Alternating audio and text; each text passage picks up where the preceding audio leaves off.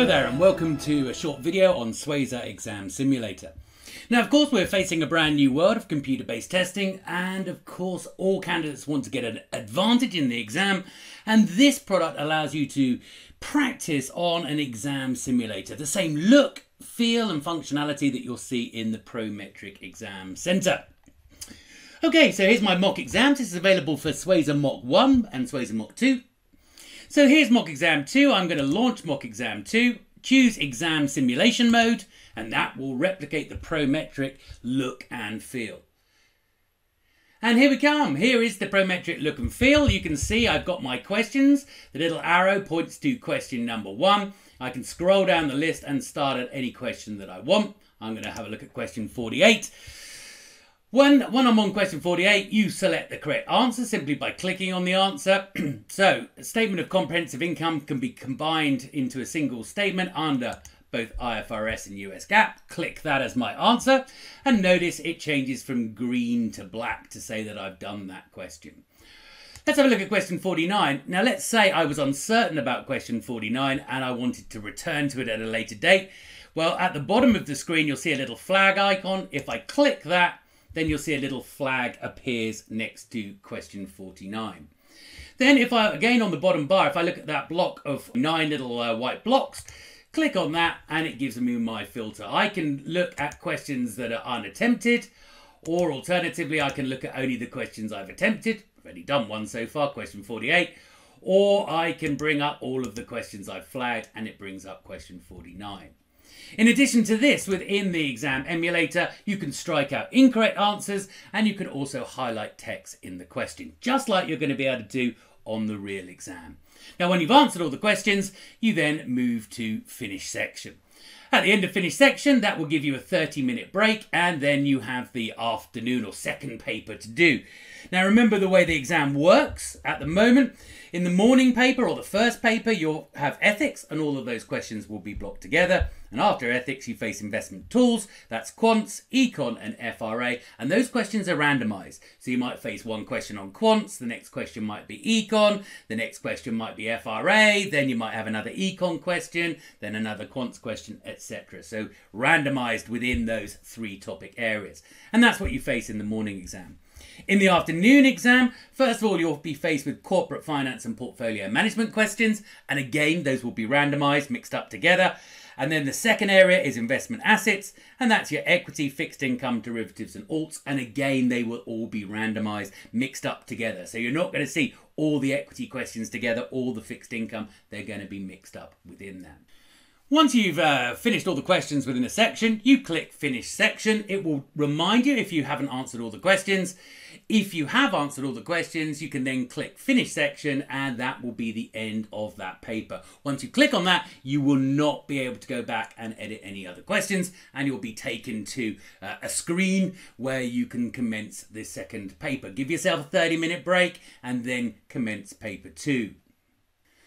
Once you've completed both the AM and the PM paper, or the paper one and paper two, you can then see your results. So here's actually how I did on the overall mock exam. Here's my part one and part two.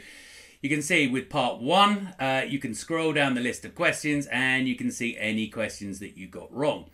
And if you got a question wrong, let's see uh, where I got a question wrong. There you are, 62 was one that I got wrong. If you click on that, then it will bring up the question so you can see what the correct answer was. So this was to do with LIFO and FIFO and I should have answered C. If I don't understand my answer, then I can go to explanation and there is an explanation of the answer. And if I still am having trouble, I can click on the video uh, explanation box and get a uh, video tutorial.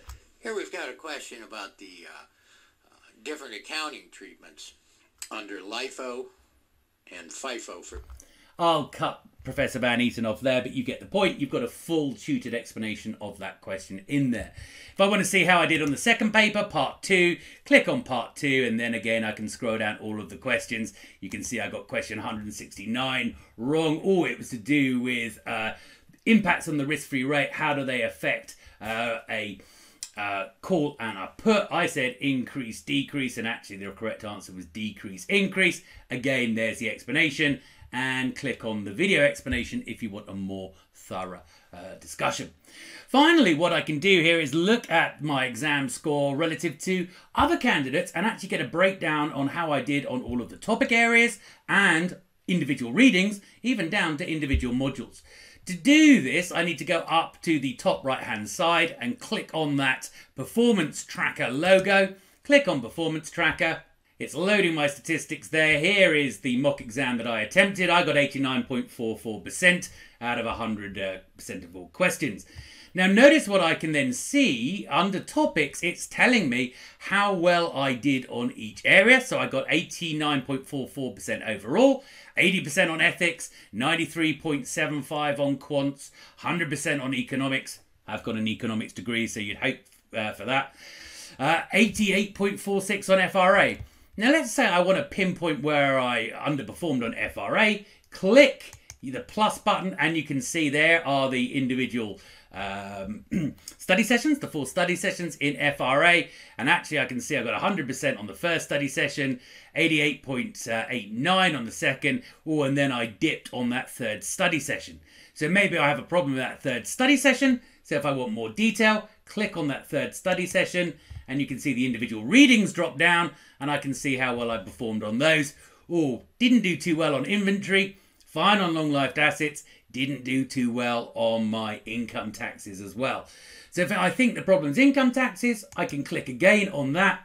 Here are the two modules that were tested in the exam.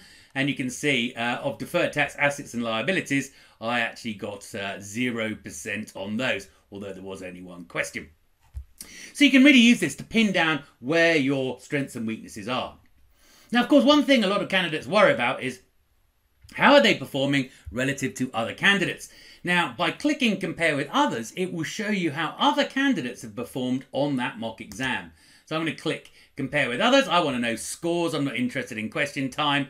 And there you go. I got 89.44% on this mock Everyone else, the average score is 47.14%. Well, we've only just released the mocks, okay, so very few people have done them. I would expect that every one percentage hopefully to creep up towards that 70% chart area and an exam pass. But you can see I then get that detail for every single topic area, so I can see where I'm strong and where I'm weak relative to other CFA candidates. Thank you very much. I hope you've enjoyed finding out about the exam simulation tool available for both Schweser mock exams. Very much good luck in those examinations.